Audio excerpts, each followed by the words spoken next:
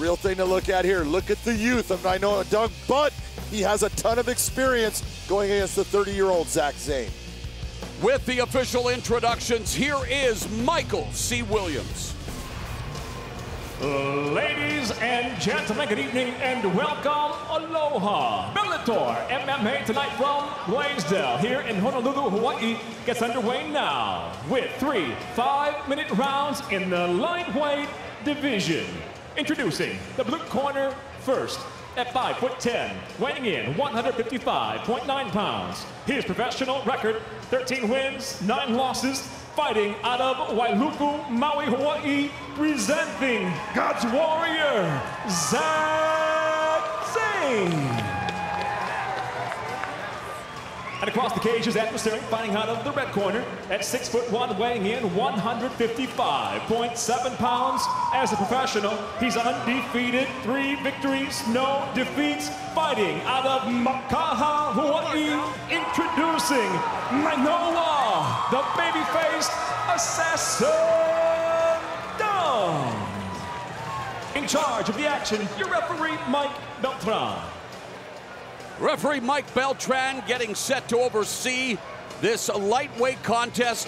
Two of the top fighters in Hawaii battling for more than just bragging rights, the opportunity to set the, the pace for tonight's event. And the bell in round one, Nainoa Dung undefeated in the red gloves, Zach Zane in the blue gloves. And as John alluded to earlier, Zane loves to do things, well, outside of the traditional box, as it were. Wants to make things very unorthodox, very unpredictable. But if there's one thing we know about Dung, is he does not get swallowed up in the moment, although he just got swallowed up in that takedown by Zane. Beautiful attack by Zach Zane and taking Nainoa to the ground. That is impressive that he's using that ability of fight IQ. You have all these fights. Well, let's get smart in how we approach our opponent, knowing that Dung is so good on his feet. Zane has nine victories via first round knockout or submission, one KO, eight subs, and immediately putting the pressure on Dung.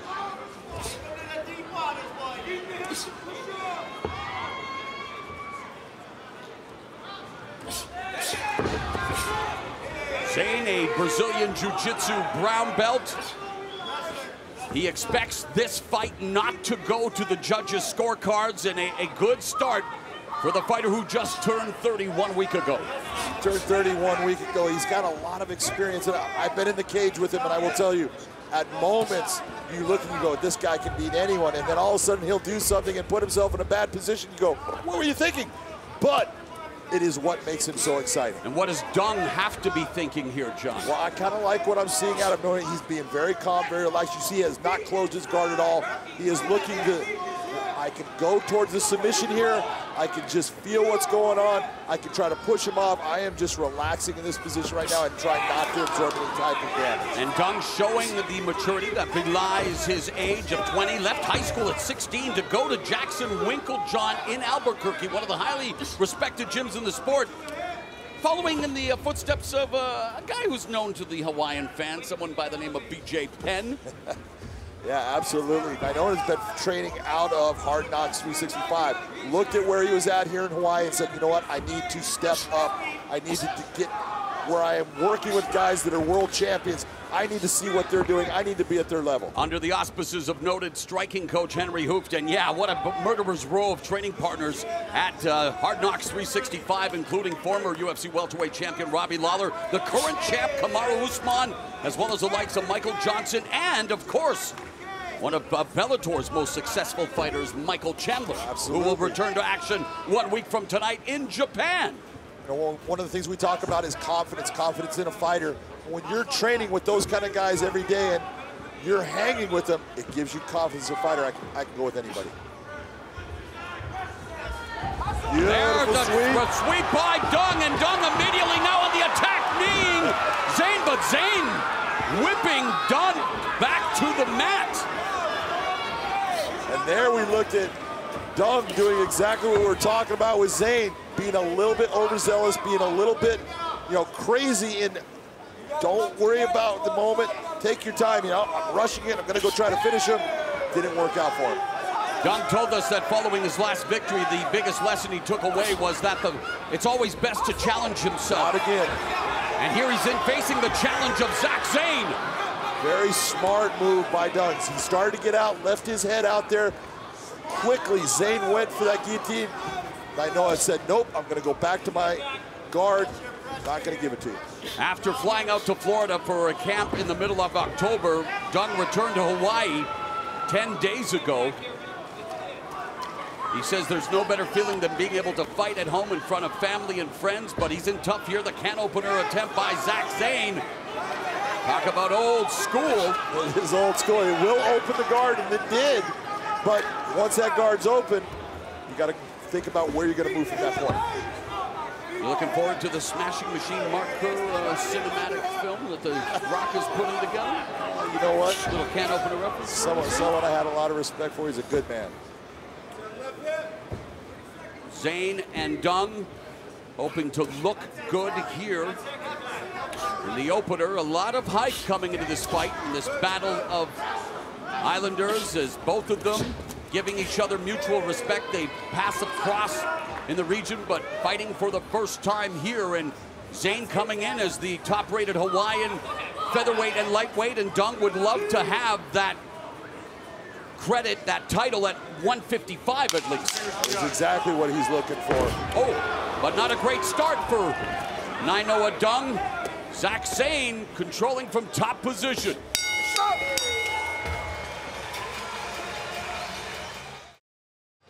Dung receiving words of encouragement from three-time NCAA wrestling champ Greg Jones. And to Zach Zane getting Don't concede. words of encouragement.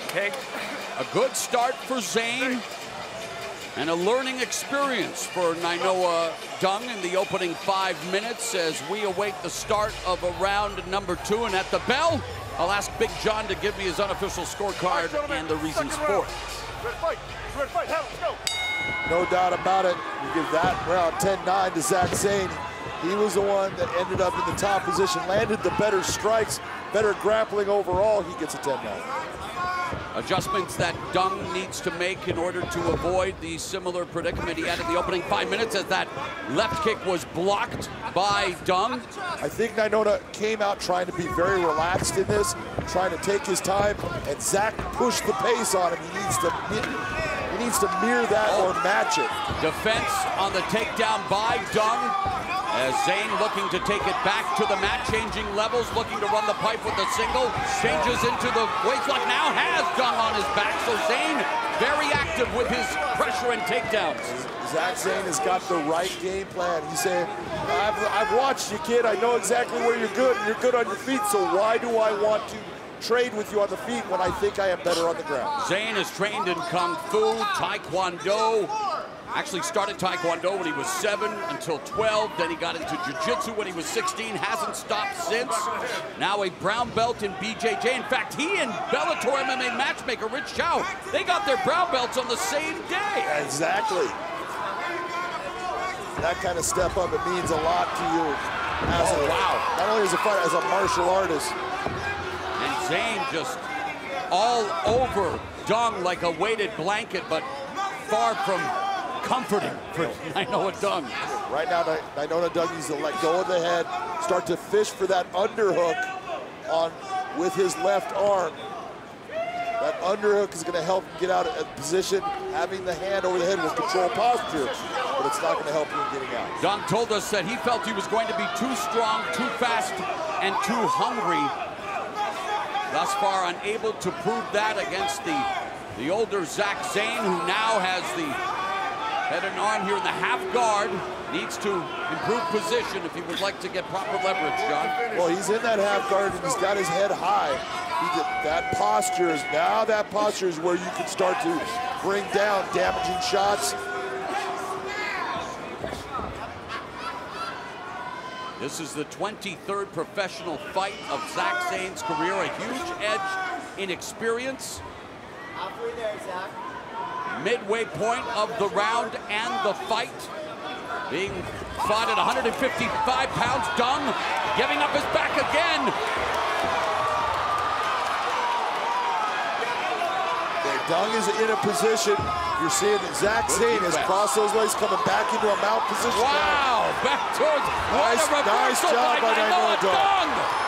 Great job of not conceding the position, not giving in it. Oh, and now an omoplata attempt by Zane. He's a reversal by Dung. And Dung now in a chance to get dominant position, but well played by Zach Zane. What a scramble. Beautiful transitions by both fighters on the ground. Right now, Nainoa Dung needs to say, okay, you just did that. I've taken my breath. Now get it going again. Start to go with that same sweep that you've used time after time that Zach has showed he does not know how to stop. Zane never likes leaving it to the judge's hands. He's been doing this for 10 years. He says he didn't have an easy path to get here, had to work for everything, but that's what made him who he is, and he would love to record the victory under the bright lights of Bellator MMA. Making his debut here for the organization and doing well against, Nainoa Dung is Dung again looking for the sweep. Dung needs to, when, when he gets that sweep, he needs to keep that arm extended so Zach cannot jump right back at him. He's pulling that arm once he pushes. He needs to keep that extended and move his body away from Zach Zane to get himself into a standing position. Dung from the generation of fighters who start literally when almost out of the womb. We talked about training MMA at four, had his first amateur kickboxing match at six. Amateur boxing record, pankration record, but all for naught right now has to find a way to make it work. Referee looking for more action. 30 seconds remaining in the second stanza. One of the things when you get to Hawaii, it's that just that statement of just scrap bra. and I'm really impressed because that is the mindset of Zach Zane all the time. And he is showing that he is becoming very mature and saying, I know where I need to put this fight so I can get this win. Yeah, Zane looking for an extra special Christmas for his two daughters, Alan, Aliana and, well, his one daughter and son, Jet. But now, Zane looking for the finish in the dying stages of round two. He's not going to get it with that.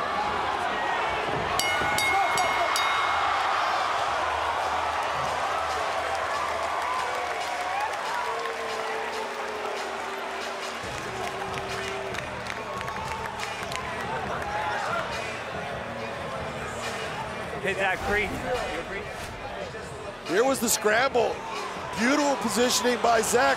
He gets a little high. Nainoa turns him over, brings the legs up, looking towards a triangle, ends up bringing it down to an omoplata, and he has control at that point. Nainoa grabs over, tries to get too high, and that's when Zach swings him back over, gets on top. Here's the same scramble at the end. You see him going for the guillotine, tries to turn him over and hold on to it. Nainoa does a good job, controls the hands. There's no way he's gonna get it with the position he has and just squirms his way back out. Great transitions by both men.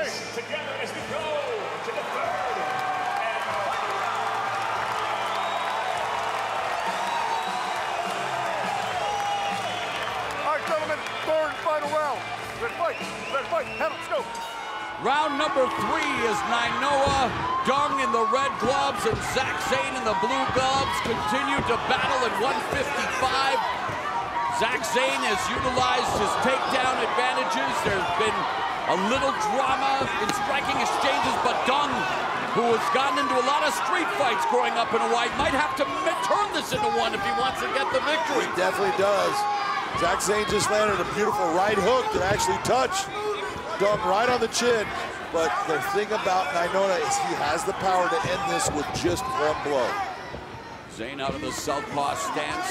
Front kick flicked into the direction of Zane as they're using feints, trying to ghost each other, trying to get the other to commit, and their counter right hand by Zane bounced off the shoulder of Dung.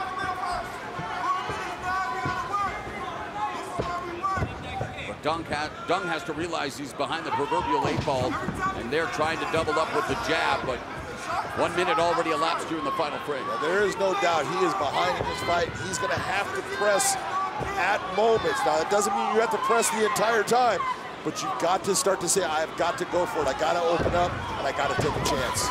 And for Zach Zane, the victory is the most important thing, but he he says that he would love to keep his streak of finishes in victories going. He's 13 and 9, but all 13 victories have come via knockout or submission. Vicious body kick by Dung, and there's Zane looking for the ankle pick as he tasted the power of Dung. Exactly, that kick hurt. You could see it. And Dung, Dung going the for that tables. choke. Mounted guillotine. Arman Dung looking for the dramatic come from behind victory. Just trying to get a little space in here right now, Moro. He's okay. I know that needs to, needs to utilize his legs. If he can utilize his legs, he can create more pressure. Oh, and Dung, smart to not continuing expending unnecessary energy, has Zane's back, fish for the choke, softening up Zane a bit. Zane trying desperately to create separation. Beautiful movement by both men. Zach trying to get the escape. I know they're just riding with it. And Zane now sweeping Dung.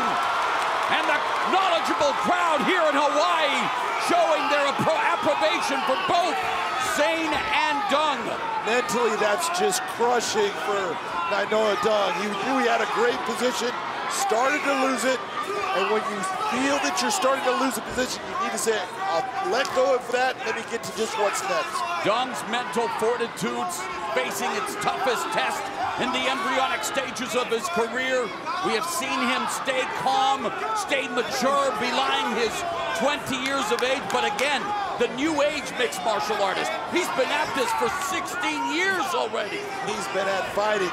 And the real question with I know it was we knew he's got an Oh, outstanding escape. stand-up game. And His he has to ground put game is that outstanding standing up game to work here. Oh, good knee.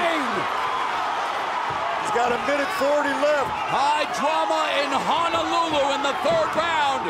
According to Big John's scorecard, Zane up 2-0. But Dung doing his best to try to create the comeback victory. You can see that Zach Zane's arms are heavy. He's having a problem right now. And Zane looking at the clock, eating a body kick by Dung, and Dung looking for that arm in guillotine. Zane just trying to keep Dung on his back, unable to do so. Two big body kicks have absolutely taken the gas tank out of Zach Zane. Dung needs to separate right now. He should not stay in this position.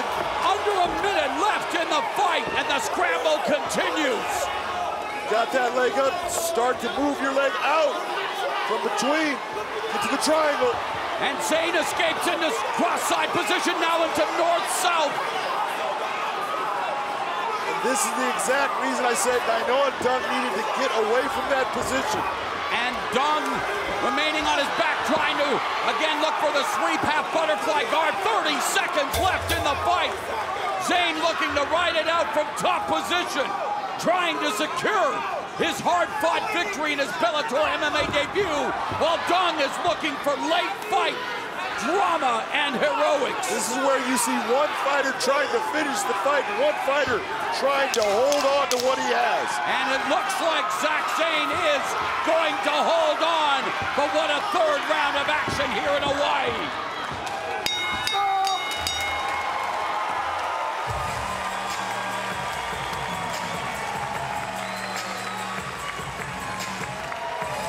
Zach Zane came in as the top-rated fighter here on the islands at 145 and 155, but it was Nainoa Dung coming in with the headlines, the buzz, the hype, Big John. He did have the buzz and the hype because he's so young, and you can see how good he is. But an outstanding job by Zach Zane. Watch the body kick. Third round here. That hurt. You could see right away. That had an impact on Zach Zane in the third round. You saw Nainoa Dung trying to go to positions to get the finish. He knew he needed it. And Zach Zane just working himself out of those positions, trying to survive the round. Oh, step up knee rattling Zane momentarily, but was able to recover quickly. This was the second body kick. He took his eyes off him.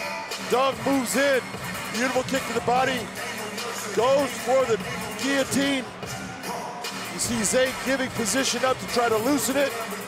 Just an awesome fight by two guys going after it. Za- Zach Zane's 23rd professional fight, his Bellator debut, just the fourth fight of Nainoa Dung's career, his third here in Bellator MMA. Is Dung about to taste defeat for the first time?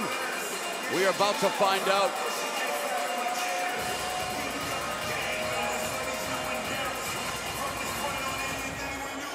Your official or unofficial score by the entire fight? Unofficially, I have the fight at 29-28 for Zach Zane. He took the first two rounds, and I know it came back. Took that third round, no doubt. Not enough for a 10-8. A loss always stings, but it can be a valuable learning experience, especially at an early stage of a fighter's career. Let's go to Michael C. Williams. Ladies and gentlemen, having gone the distance inside the Bellator cage, we'll go to your three judges. All three judges at cage side, Mike Onzuka, Dana Ferruta, and Sal D'Amato. All three have it exactly the same, 29 to 28. All have it for the winner by unanimous decision. God's Warrior, Zach Zane. And ZZ is taught tonight. Zach Zane pulls off the victory, handing Nainoa Dung his first loss as Zane is victorious for his first fight in Bellator. Let's go to Big John McCarthy.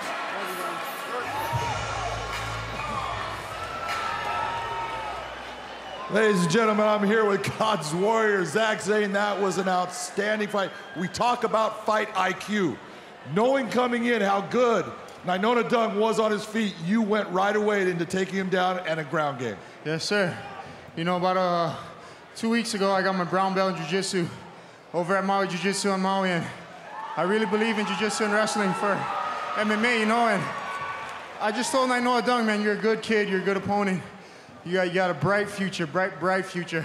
I had to have a game plan against you, it was all respect. Everybody who loves Nainoa Dung and believes in him, I, I, I'm so grateful for all you all. Keep believing in him and keep loving him. He's got a bright future, everyone.